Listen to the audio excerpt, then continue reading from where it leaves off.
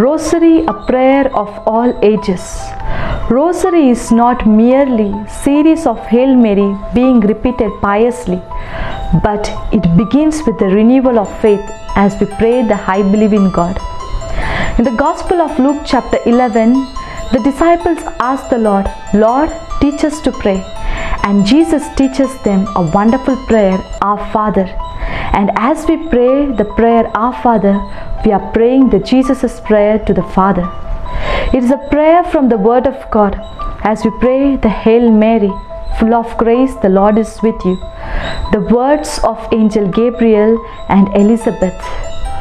And when we say the Hail Mary with the devotion and love in our hearts, we are indeed praying the Word of God.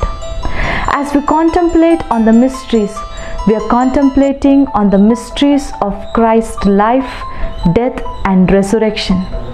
Finally, as we pray the glory be to the Father, we are glorifying, adoring, and worshipping the Trinitarian God, saying, Glory be to the Father, and to the Son, and to the Holy Spirit. Let us begin to pray the Rosary in order to be drawn closer to the heart of Trinitarian God along with Mary.